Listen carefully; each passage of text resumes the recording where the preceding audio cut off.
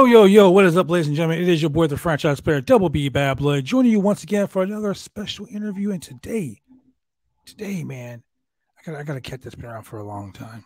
You know, mid Atlantic, mid Atlantic legend. Let's call it what it is, man. Um, you've seen this man in, in WWE, you've seen this man in NXT, you've seen this man all up and down, up, uh, all up and down in North Carolina, Mr. Everything, Victor Andrews, brother. Welcome. Yo, yo, yo, what's going on, man? It's a, oh, it's man. a pleasure and an honor to be on the show with you, bro. What's going on? How you feeling? Oh man, you know it's another day, another two dollars and fifty cent. You know what I'm saying? So we're hey, man, you getting two dollars and fifty cents. I'm getting a Mario coin. Oh shit! How, how you get two dollars and fifty cents? I'm getting Mario coin. at least you get at least you're getting that one up coin. You know what I'm saying? At least you're getting that one up coin. Um, So so man, let's let's let's get into it, man. You former Mid Atlantic Masters champion, PWF Unified Tag Team Championships like three times. You and James Anthony ran rough shot, man. When I first when I first heard about you, I was like, this dude really is Mr. Everything. He's doing all kinds of shit. And, you know, then one day I'm just chilling at home and I'm flipping through the screen. I'm like, whoa, I know this guy. What the hell? Him and Lars Sullivan? What? what, what yeah. Wait, hold on one second. Yeah. So man, let's talk about this, man. Like, like give give the people, tell the people everything about Mister Everything. I like what you did there. Yeah. Oh man, where, where I start, man? Originally, originally from Brooklyn, New York. You know, I, have done boxing, done modeling, done acting. I still do a lot of the stuff. I did MMA. I was in the military. Got into professional wrestling in 2009. Uh, started training in New Jersey with Lady Lee. When I moved back to North Carolina, I started training under C.W. Anderson. And now me and him train side by side together. You know, the, mm. the student became one of the teachers, and now we pull guys together, and you know, we train them, we show them the the ways of the the wrestling world. But I show them in a different way. I show them that uh, I make them realize that they can't fight. Like it's simple and plain. A lot of professional wrestlers can't fight which is why a lot of them get lost in the ring. You know what I'm saying? So I show them like, listen, man, it's, it's a fight at the end of the day. You either gonna punch the guy or you're gonna grab him. Those are the only two options. So there's no reason for you to get lost. There's no reason for you to be like, oh, I don't know where I'm at. What am I doing? You're fighting. That's what you're doing. You're fighting. So we incorporate grappling. We incorporate boxing. We incorporate MMA stuff. Everything. So that way they're well rounded when they get out there in the ring. And of course, you know, if they gotta get in the ring with me, you got to be well rounded in with me, you know. Stretch. So yeah, exactly. Um, I've done so many things as far as runway and modeling. I've been in so many, so many magazines. I just landed eight magazines in the past two months. Man, in the past two months, I landed eight magazines. Um, went to WWE a couple of years ago. Just did you know some extra work. Went to NXT worked with Tag Master Lars Sullivan against Heavy Machinery. Uh, then moved on and did some little backstage stuff. And then uh, they called me up for uh, Monday Night Raw to do the Bobby Lashley sister thing. Crazy moment, but I got paid for it, so it is what it is. Hey, money is money, That's, man. How you make it? absolutely. Make it. You know, twenty dollars is twenty dollars in somebody's eyes. Um, you know, did some more backstage work. Uh, and of course, you know, COVID came around, kind of set a lot of stuff down. Um, then they called me back last year. I went and did NXT Takeover. I was involved in a little segment with um, Damian Priest and uh, Johnny Gargano doing the North North North Atlantic or North American title match. Yeah. Uh, and then they recently called me again uh, a couple of weeks ago and went out there and worked the match, but not worked the match. I got beat up. Let's just call it what it is. Okay. I got okay. beat up by Veer Mahaan. let, let, let, let, let, me stop you right there. Because, man, this right here, I my co host, we did the Raw uh-huh. review, and I was like, I know that dude right there. I know that dude. And all my co hosts could talk about it. And like, I told him I was going to interview. He said, man, you got to ask him. Did he work at the chicken place? Did he, did he work what? at the chicken place that he put over so well? No, I didn't. No, uh, I have no idea where or what that place is, and I hate it for the fans that went there looking for me because they're gonna be upset. Oh, so that's something WWE told you to say. Yeah, that was a well, that was a WWE put together. Um, and I was like, Okay, I mean, who am I to say no? I mean, y'all, y'all put me on TV, y'all let me talk, you let me talk in the ring. You know, uh, other little extras, they either get no TV time as far as promos or didn't talk in the ring. So I went out there, did exactly what I need to do, did exactly what they asked, exceeded their expectations. And man looked good, make the script sound good, and his rest is history. Now, see, you got the stylish beard. I gotta ask. Yeah, I gotta yeah, ask. You gotta keep, gotta keep it tight, you know. Mm, see, so, so you know about keeping it tight. So I gotta ask: Was was Veer's beard on point or what? Brother. We've been talking about Veer's beard, man, ever since the pictures he posted of him in IKEA. I'm like, that dude must use some hella fine beard fucking treatment right he, there. He uses what did he tell me he used? He uses like some kind of olive oil and and something else. It's some type of nourishing oil. He was like, Yeah, you just wow. you rub it in and, and you put it in at night before you go to bed. And you get the next morning and you just comb it through. That's it. Man, and I, if I'd known that, I'd known that three years ago, I'd have never cut my hair. man, I was like, dude, like I'm about to put my scalp like that. Like, wow. exactly. Um, if I get a chance to talk to him again, I'll ask him exactly what, what kind of oil it was. Yes, sir. you Text know, me that, man. Little, Shoot me that. I need that. Some extra.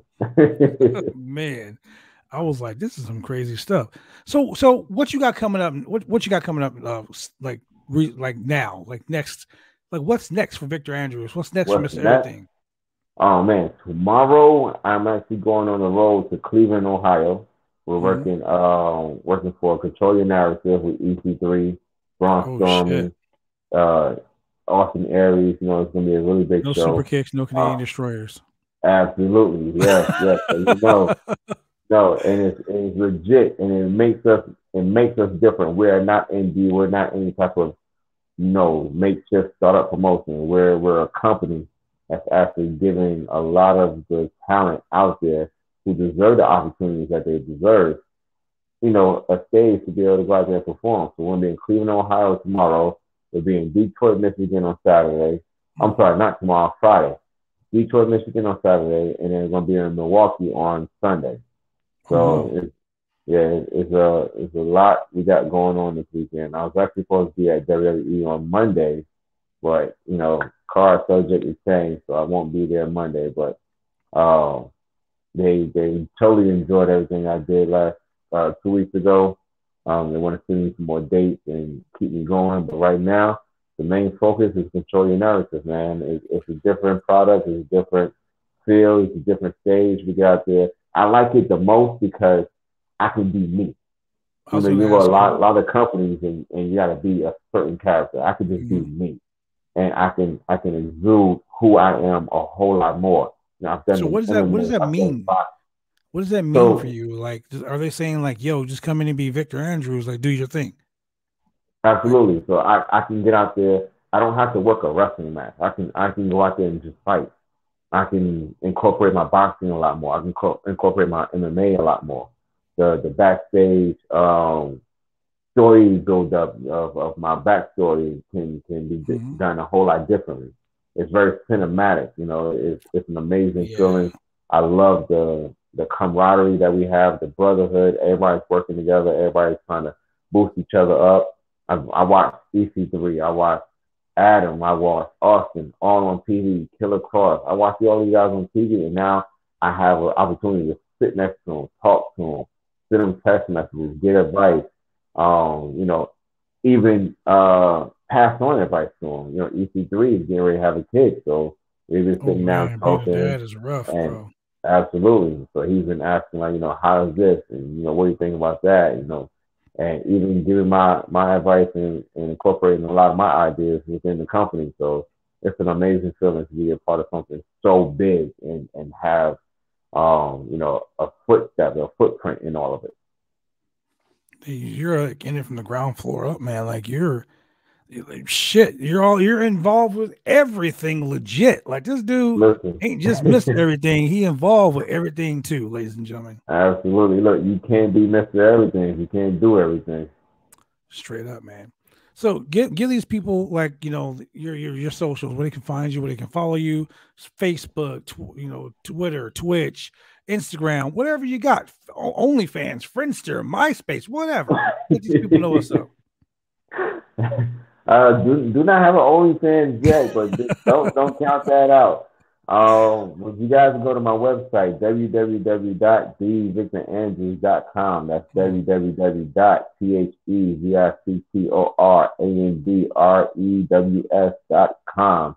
And you can link to all my social media, my Facebook, my Twitter, and my Instagram. Uh, my TikTok is not linked to it. If you want to watch me on TikTok, do all the crazy, you know, oh, trending videos. It's uh, official underscore Mr. Everything on TikTok. See, I'm about to go follow you on TikTok because see, all I do is like like my shoot job, bro. Besides wrestling, I work for Nike, so I got like like 220 pairs of Nike, Nike, shoes. I work at Nike corporate. I'm, I'm I work IT for Nike corporate, so I'm on the. So so so so. so. my boy's like, "What's up?" Mm, yeah, as you can see, man, the, fit, the fit's already Nike. You know what I'm saying? So yeah. yeah you know what I'm saying? Let's see if we can get it just, pair, just everything. 215 right here, you know. So yo, those don't. I'm crazy yeah. with it, man. Look at my TikTok. You'll be like, this fool's this fool's ridiculous. Is he a wrestler? Is he a shoe model? Like you don't know. Hey man, listen. You, hey, well, my motto is do it all before you can't do anything at all. Man, that's that's that's that's the gospel right there, ladies and gentlemen. He is telling yeah. you the most. Absolutely. So, don't be anything, be everything man. So before we close out, let me ask you this: What three things would you say to a young wrestler up and coming that wants to achieve everything that Mister Everything has been achieving? Uh, first off, be humble. Be mm-hmm. humble. Be humble. Be humble. Don't matter what you do. No matter what titles you win. No matter how many companies you work for. No matter how long you've been on TV. No matter what tours you've done. Um, Japan, UK, US, uh, Mars. I don't care. humble. Uh, I'm so I, I push that so much because you see a lot of guys they get out there and they have these opportunities and their heads swell up, and the moment they get in the ring with somebody that's better than them, that's on a higher caliber, on a higher level, they realize that they just get shut down so fast that they're not as Real good as what they thought they were. You know what I'm saying? Like they they get blowed up. I get a lot of guys that come and train with me mm-hmm. that never come back to train with me because they realized like, oh man, uh, my cardio ain't as good as I thought it was, or my in-ring ability is not as good as I thought it was. My my grappling is not as good as I thought it was because I got in a ring with Mr. Everything, and he really is Mr. Everything. So just be humble. Um, second thing, be coachable. Learn everything you can. Learn from everybody. Learn different styles because you're gonna if you're gonna travel, you need to know different styles. You need to know how someone does a lock. You need to know how someone does uh, hip toss. You gotta know all the lingo. You know, somebody may call call a hip toss something different. So learn everything that you can, so that way you can be able to op- operate and work with everybody and learn a second language. So learn a second language. Absolutely, learn a second language. Um, I, I'm trying to do that now. I wish I'd have done it a long time ago but that's going to help you get a lot further, a lot faster because there's so many guys out there that don't know more than just their native language. And when they visit another country or even another state where the guy may speak Spanish or even French, and you got to be able to communicate with them. You it's funny you say that because I wrestled in Japan, and I didn't, I don't know Japanese. Mm-hmm. You know, and I learned um, when I first started training, I used to wonder why the guys would be like, "Yeah, we're going to do a five minute match, no talking." Mm-hmm. I'm like, well, what do you, what do you mean? Well, we're not going to talk. We're gonna we're gonna walk it. We're gonna walk it through. So I learned to walk and talk because you never mm-hmm. know. You know, I mean, you can wrestle and feel with certain people. You know, even in Mexico. I mean, I'm from California, so I I, I know 80 percent Spanish. You know, but um, when you don't know these things and you're working in a different country, if they don't speak English, you got to learn how to walk and talk. You got to learn how to be versatile. You got to learn how to to work a style without, you know, work off body language is what I'm trying to say. So I, I completely one thousand percent understand what you're saying. Absolutely, and that's where learning, knowing how to fight comes into play. As long as you know how to fight, you'll never be able. You'll never need to tell a tell a guy, "I'm doing this, exactly. I'm doing that," because they can just read the body language. What's the third thing? Uh, that was the third thing. oh, that was the third thing. well, that was the third thing, ladies and gentlemen. And with that being said, ladies and gentlemen, thank you very much for joining us here. Victor Andrews, uh, Mr. Everything, doing it all day, every day, twice on Sunday. Man, thank you very much for joining me here and giving us your uh, your 15 minutes of fame. No, thank you. And uh, I see those belts behind you. Uh, I'm gonna go ahead and throw it out there. Well, I'll tell Victor you right Andrews, now, the red one, the franchise player, one on one. Here we go. Wherever we can do it, let's hey, do it. Hey, I am the OIWA North American Heavyweight Champion, and that red belt, my red girlfriend right there, big red. Uh-huh. She uh, she she always say, "Got boots will travel." So, ladies and gentlemen, y'all want to see it? Hit these promoters up. Let them know, yo, Mr. Everything versus the franchise. Mr. 365 versus Mr. 365 24 7. Let's go, ladies and gentlemen. Let's do it. With that being said, Thank you very much for joining us, brother.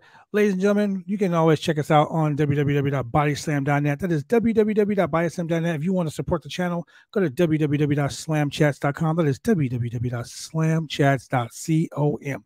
And with that being said, man, thank you very much. We are out.